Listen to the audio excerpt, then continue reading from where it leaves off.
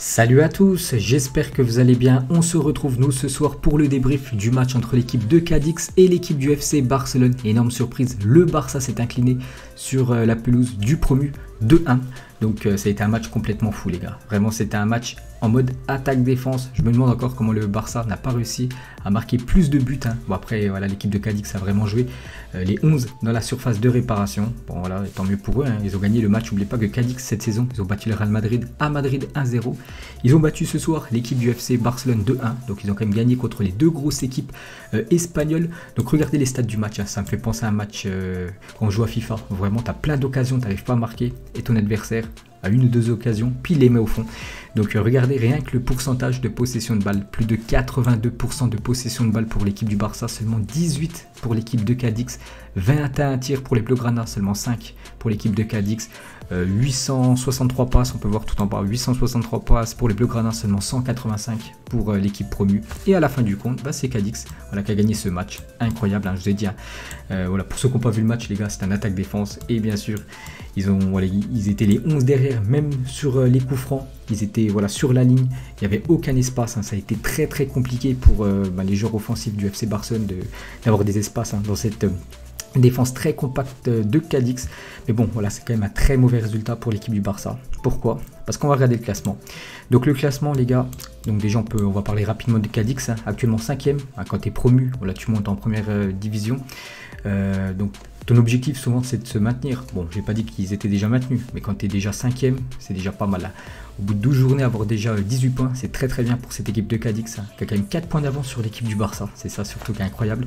Et euh, pour parler du Barça, donc c'est une catastrophe les gars. Le FC Barcelone, 7ème actuellement de la Liga, à 14, enfin ils ont 14 points, et ils sont à 12 points de l'équipe de l'Atlético Madrid.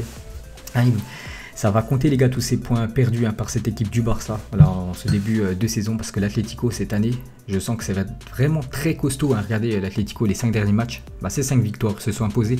Euh, cet après-midi, l'équipe de l'Atlético, le Real Madrid aussi s'est imposé. On a fait le débrief tout à l'heure. La Real Sociedad joue demain. Elle peut récupérer sa première place, hein, cette équipe de la Sociedad, demain. Donc voilà, il n'y a que le FC Barcelone en fait qui a fait la mauvaise opération. Bon, et Séville qui est une place devant, mais aussi ils se sont inclinés. Mais voilà, le, Barça, les gars, c'est pas ouf. Hein. Donc 10 euh, matchs de Liga, seulement 4 victoires en 10 matchs. C'est une catastrophe, 2 matchs nuls et surtout 4 défaites déjà. 4 défaites sur les 10 premiers matchs euh, de Liga.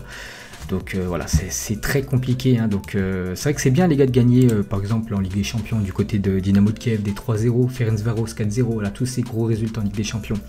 Mais Liga, voilà, là ils sont à la peine, les gars. Ils sont vraiment à la peine cette équipe du Barça. Euh, et, voilà, ça va être compliqué, les gars, de, récupérer tous ces points. Il faut faire attention Blaugrana parce qu'il pourrait vraiment filer euh, très loin dans, ce classement. Et c'est pas ouf, hein, surtout ce que propose l'équipe Blaugrana. Donc maintenant, on va noter, bien sûr, comme d'habitude, hein, voilà les joueurs euh, du FC Barcelone. Donc comme d'habitude, je vais mettre les notes avant. Donc on commence avec le gardien Ter Stegen. Donc Ter Stegen, que dire hein, sur euh, son match? Donc j'ai dit, hein, l'équipe de Cadix, c'est combien? Attends, je regarde rapidement les gars, c'est euh, combien de tirs cadrés? C'est 3 tirs cadrés les gars. Donc 3 tirs cadrés, il prend 2 buts. Donc euh, voilà, il prend 2 buts, hein. donc c'est pas ouf bien sûr, sa prestation ce soir. Donc j'ai mis une note de 4 les gars, Ter Stegen. Il a fait un arrêt décisif en deuxième mi-temps. Il a évité le 3-1 alors que le joueur de, de comment s'appelle de Cadix c'était juste devant lui. Vraiment, il a fait un arrêt décisif. Mais bon, voilà, sur le deuxième but, grosse mésentente avec Clément Langlais. Je sais pas du tout ce qu'il a fait. Bon, après, le premier fautif, hein, ça reste quand même Clément Langlais qu'on va parler euh, juste après. Mais euh, voilà, Ter Stegen doit la mettre au moins en corner. Je sais pas, il a essayé de la remettre euh, dans le jeu. Puis du coup, il s'est fait contrer. Et du coup, Negredo, l'attaquant de, Cadix, bien fini. Donc c'est pour ça, les gars, impossible de lui mettre la moyenne à Ter Stegen ce soir. Donc c'est note 2-4. Il avait déjà fait une boulette la dernière fois. Je me souviens plus c'était contre quand il était sorti. Il avait voulu anticiper un ballon. Puis s'était fait prendre. tout simplement, il était trop court. Donc euh, Ter Stegen cette saison, pas mal de boulettes. Hein. donc c'est pas ouf les gars son match ce soir. Ça mérite seulement une note de 4. Ensuite on passe à lui les gars. on va essayer de bien le caler. Voilà. On va passer à Jordi Alba. Donc buteur les gars, Jordi Alba ce soir. Bon, je ne sais pas si c'est lui, euh, enfin si euh, dans les stades de la Liga c'est lui vraiment qui est compté, puisqu'en fait son ballon a été détourné. Ah, bien sûr c'est un jeu, c'est un but contre son camp, mais c'est lui qui a l'origine bien sûr euh, du centre. Donc j'ai mis une note de 6 les gars Jordi Alba. Hein, il a quand même pas mal apporté devant. Il a été buteur, dommage hein, pour lui et surtout pour son équipe. Hein. ils ont pris un but 5 minutes après. Donc voilà une note de, 6 pour Jordi Alba. Ensuite, On passe à Clément Langlais. Donc normalement les gars, Clément Langlais c'est vraiment le leader de la défense du FC Barcelone. Et ce soir, il a été hors sujet. Je crois que c'est la première fois que je le vois autant en difficulté Clément Langlais. Donc euh, que ça soit des fautes, des fautes juste devant la surface de réparation. Hein, je me souviens, c'était en, deuxième mi-temps, il fait une faute à un mètre euh, de la surface. Hein, ça aurait pu être penalty. Niveau relance, catastrophique. Euh, puis le but, les gars, la boulette qu'il fait, je sais pas ce qu'il fait, il la laisse passer devant lui, puis euh, deux secondes après il y a but. Donc euh, en grande difficulté ce soir Clément Langlais, pourtant normalement lui c'est un gars vraiment posé, serein, mais ce soir hein, il n'a pas été bon. Donc euh, j'ai mis note de 2 les gars. Là il faut marquer le coup les gars, c'est un très mauvais match hein, de sa part. Regardez en plus il a pris un jaune, un match oublié hein, pour Clément Langlais. Ensuite Mingueza. Donc lui Mingueza je l'ai découvert cette année, ça fait quand même 4-5 matchs hein, qui joue euh, du côté du FC euh, Barcelone. Et euh, bah, c'est le premier match où vraiment je le sens qu'il n'a pas été bon ce soir. Hein. Donc déjà il est sorti à la mi-temps. Voilà, quand tu sors à la mi-temps, que pas été super bon. Et surtout c'est lui qui marque contre son camp hein, sur le corner. C'est lui qui la met voilà, sur bah, Ter Stegen. Après Ter Stegen bien sûr ne peut rien faire. bien sûr il la met trop bien. Donc Mingueza les gars c'est une note seulement de 3. Bon après j'ai pu le noter seulement sur les 45 premières minutes. Donc ça mérite que 3 les gars. Mauvais match, il a marqué contre son camp. Je peux pas lui mettre plus. Donc euh, voilà, mauvais match hein, de la part du défenseur espagnol. Et pour finir, donc c'est euh, Dest, Dest sur son côté, donc il a été actif les gars Dest, hein. il a fait pas mal de centres, hein. c'était quasiment un ailier, souvent il a porté aussi le danger devant. Euh, je me souviens de sa frappe, une magnifique passe millimétrée de Bousquet pour lui, puis il arrive tout seul devant le gardien de Cadix, il l'a à côté. Bon après c'est pas un attaquant les gars, c'est un défenseur, mais bon ça mérite que 5 les gars, ça mérite pas plus pour le défenseur américain. Ensuite, on passe à Frankie de Jong. Donc lui, il n'a pas été bon, hein, les gars, ce soir de Jong. Hein. Si vous avez vu euh, le match du Barça, je pense que vous serez du même avis que moi. Il est passé à côté euh, de son match. Donc de Jong, seulement une note de 4. Donc 4, c'est insuffisant. Hein. il peut faire bien mieux, les gars, Frankie de Jong. Euh, il n'a pas assez porté le ballon devant. Vraiment, bon, il, a fait pas mal de passes. C'est vrai que vous avez vu, le Barça, ils ont fait plus de 800 passes. Il a fait des passes, mais des passes où il n'y a aucun risque de dépasse en arrière, que normalement il doit casser les lignes, Frankie de Jong. Donc euh, voilà, il n'a pas été bon les gars ce soir, ça mérite seulement une note de 4. Et la même chose hein, pour Bousquet. Donc Bousquet les gars, il prend de l'âge. Hein. Je parlais de Modric cet après-midi du côté du Real Madrid. Bousquet c'est la même chose. Hein. Elle est loin l'époque du grand euh, Bousquet. Donc lui aussi, ça mérite seulement une note de 4. Il a la ramasse quand même Bousquet. Il est, lourd, il est, grand, tu le sens qu'il est plus bien euh, physiquement.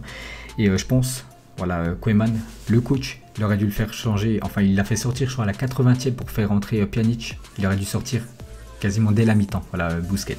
Donc une note de 4. Hein. Donc euh, De Jong et Bousquet, les gars, j'aurais mis une note de 4. Ensuite, on passe à l'ailier gauche, Philippe Coutinho. Donc Coutinho ce soir, hein, ça n'a pas été aussi ouf. Hein. Bon, c'est vrai que l'équipe du Barça, les gars, ça n'a pas été ouf ce soir. Bon, ils ont perdu du côté de Cadix. Mais voilà, il y a des joueurs qui ont été mauvais. Et lui, les gars, il n'a pas été bon, il a été mauvais. Déjà, il est sorti à la mi-temps, hein, comme Mingueza. Donc Mingueza, il était remplacé par Pedri, parce que du coup, je crois qu'ils ont joué à trois défenseurs, parce qu'ils perdaient un 0 donc il devait bien sûr essayer de, revenir. Et Coutinho, c'est euh, Dembélé qui l'a remplacé. Donc déjà, Coutinho, les gars, j'ai mis une note. Euh, j'ai mis une note de 3 les gars, mauvais match. Hein, on l'a pas trop vu les gars, euh, Philippe Coutinho vraiment effacé ce soir. Donc un petit match de sa part. Donc il été remplacé par Dembélé. Je vais le noter quand même Dembélé, vu qu'il a joué quand même 45 minutes. Donc Dembélé, j'ai une enfin j'ai mis une note de 4 insuffisant. Donc au début de match, il a touché beaucoup de ballons, hein, Dembélé. Je me suis dit, il, va faire des différences. Puis en fait, non, il a rien fait. Euh, normalement, Dembélé, voilà, Coleman l'a fait rentrer pour qu'il voilà, percute, vraiment qu'il essaye de chercher des fautes. Pas du tout, les gars. Il a juste essayé de faire des passes en, retrait. Prendre aucun risque. Donc euh, voilà, pas ouf, un hein, Dembélé. Donc 4 pour Dembélé et 3 euh, pour Coutinho. Ensuite, on passe au meneur de jeu, Antoine Griezmann. Donc Griezmann, les gars, c'est une note 2-5. Je mets la moyenne quand même au joueur français. C'est un match moyen de sa part. Bon, ça n'a pas été un grand Griezmann qui restait, je crois, sur euh, les trois derniers matchs à chaque fois buteur. Antoine Griezmann. Hein, c'est vrai qu'il était décisif lors des derniers matchs, mais ce soir, il n'a pas été euh, assez influent. Hein. Vraiment, il a été euh, moyen. Voilà, Antoine Griezmann. Donc, il a eu des occasions. Hein. il a eu des, pas mal d'occasions quand même. À chaque fois, voilà, je crois qu'il a dû faire au moins 3-4 tirs. À chaque fois, il a tiré sur le gardien de, Cadix. Donc 5 pour le joueur français. Ensuite, on va parler pour moi Je pense c'est lui, hein. oui c'est lui les gars, le meilleur Blaugrana ce soir. Léo Messi, lui il a fait son match, Lionel Messi. Dommage, hein, il, a, pas eu de bol, hein, vu que lui aussi il a fait pas mal de, frappes les gars, des coups francs. À chaque fois ça a été détourné. Il a pas eu de chance ce soir, euh, Lionel Messi, mais il a fait son match. Donc une note de 7 les gars, je mets quand même 7 euh, à Léo Messi. Il a fait beaucoup de décalage, vraiment des, des passes millimétrées pour ses coéquipiers. Après c'est ses coéquipiers qui ont fait un petit peu n'importe quoi. Mais lui il a été bon. Ce soir il a été bon, euh, Lionel Messi, donc pas buteur. dommage, c'est lui qui fait la passe pour, euh, bah, pour Alba, pour le, but euh, Blaugrana. Donc dommage hein, pour Léo Messi les gars, tu as été le meilleur ce soir, mais voilà, ton équipe s'est inclinée. Et on va finir avec Martin, euh, c'est ça, Martin Brettwaite. Donc j'ai mis une note de 5 les gars Brettwaite. Donc il a eu un gros face à face début de match. Il l'a loupé. Voilà, le gardien. C'est vrai que le gardien Cadix, les gars, je sais pas, il aurait une note là, j'aurais mis une note de 9. Hein. exceptionnel ce soir. Il a arrêté beaucoup, beaucoup de frappes. Hein.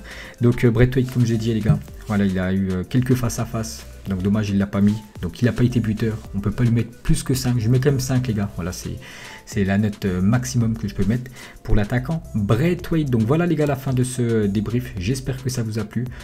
Donc euh, voilà les gars, le, Barça c'est pas ouf. Hein. Le Barça c'est pas ouf, après c'est comme ça, c'est la Liga. Il reste encore pas mal de points à prendre, mais euh, voilà, quand tu perds quand, des points chez des promus, c'est pas ouf. Et surtout, voilà, que devant, ça va très fort, hein, comme l'Atlético Madrid, la Real Sociedad ou le Real Madrid, que enchaînent vraiment les victoires. Donc euh, prochain match du FC Barcelone, bon il y a le match de Ligue des Champions, mais la semaine prochaine il va falloir prendre des points parce qu'en plus il y a deux concurrents pour le titre hein, qui se rencontrent, parce que c'est l'Atlético qui joue contre le Real Madrid, donc le derby de Madrid, donc il va falloir gagner hein, pour l'équipe euh, du Barça, sinon ils vont se faire tout simplement décrocher. Donc voilà les gars, moi je vous laisse, on se retrouve plus tard comme d'habitude. Allez ciao à tous et bonne nuit.